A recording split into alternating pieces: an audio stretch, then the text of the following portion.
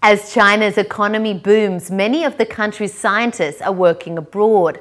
Many Chinese researchers are in Sweden and they're finding the environment there a benefit to their projects due to the proximity of sustainable forest products essential to their work. And as Ric Wasserman reports, their innovations in the field of clean energy production are a step in reducing global warming. It's the Chinese Year of the Horse, a symbol of travel, but also of fast success. For many of the over 35,000 Chinese living in Sweden, this year could be a good one.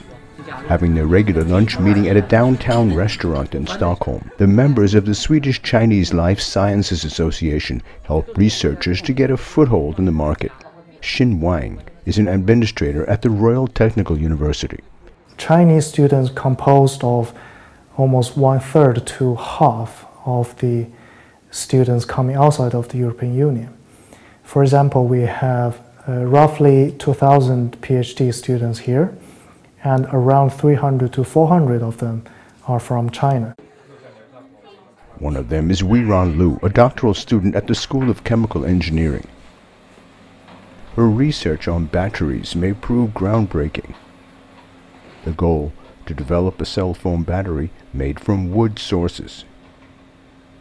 Sweden has a strong sustainable forest industry of replanted and managed forests. Wood byproducts are used as a filler for the battery. We use the wood product uh, because the wood is uh, cheap and uh, it's also environmental friendly. Yeah. I will focus on to increase the stability of the battery so that we can use the battery longer.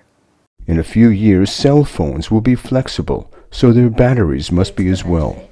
Something Chinese industrial manufacturers are following with interest. Close ties are being maintained with the Chinese green energy researchers around the world. Dr. Martin Behm is Weiran's supervisor. He says Chinese students stand out. Among young people, there's a bigger interest in maybe in technology and science than, than um, relatively speaking, than we have in the Western world at the moment. Swedish fuel cell technology caught the interest of U.S. President Barack Obama, who recently made a visit to the battery and fuel cell lab. He pressed the research teams to get their products out to the market as quickly as possible. Lao Wu's team has developed powerful fuel cells that can generate energy from olive pit waste but they want to go further. Now it's uh, used in several countries now, and now we are also want to make the fuel cell reversible to produce gas. There is also Chinese-led green energy research being done at the Royal Technical College. Today, politicians and industrialists are here to see it. Wei Hong Yang is an award-winning associate professor working on turning wood product waste into fuel. What we are working is try to reduce the technical balance to further reduce the cost during this process, then make the product of the biomass to oil to gas will be able to competition with fossil fuel. But Professor Henrik Thunman says they will need government help to make the products competitive. This is that uh, green energy production will not be uh, economically viable without subsidy. Otherwise, biomass is never competing with the fossil.